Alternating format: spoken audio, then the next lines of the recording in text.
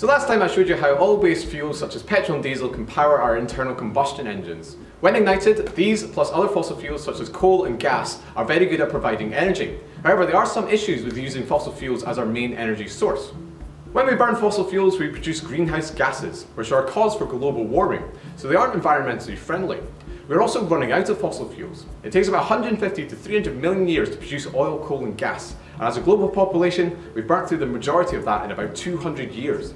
Also, when a material becomes rare, it becomes more expensive, so the cost of fueling our transport will increase as we run out of fossil fuels.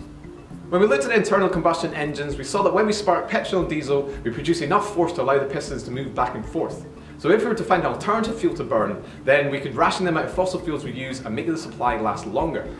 One suggestion has been to use biogas as an alternative fuel source. When something degrades, bacteria gradually breaks it down, forming gas in the process, which can be collected and burnt as fuel. A main source for this type of fuel gas is landfill sites, where everything that we throw away is covered in soil and slowly degrades over time. So one such gas is methane. So let's see how much potential energy there is when I burn this fuel.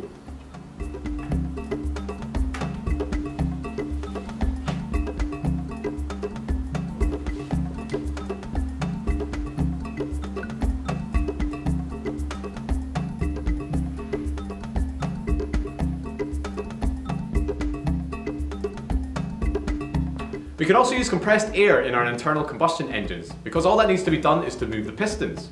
When you push air into a small space, the pressure will increase, and this can be released to push each piston away. To show this, I have a compressed air rocket launcher. My projectile is just a simple paper rocket, and I'll be using a bicycle pump to pump air into the launcher. When I close this valve, we'll give no option for the air to escape, which means the pressure will start to build, and when I release the valve, then we'll use the air to fire the rocket forward.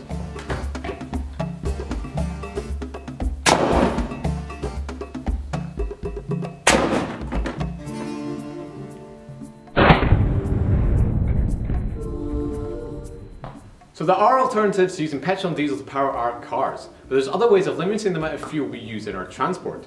Join me next time where we'll show you how you can reduce the amount of fuel our transport actually uses.